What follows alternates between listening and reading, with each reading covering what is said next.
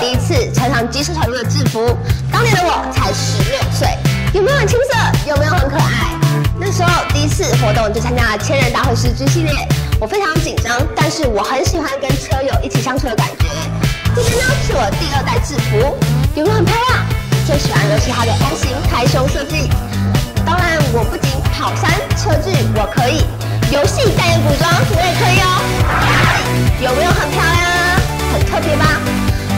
不是每次都会穿上这套第三代黄色制服，跟大家在每场聚会见面。我们不定期也会穿身份装，轻档车打护师，跟大家见面。当然还有第一次很帅气的拍杂志，一套女郎装啊。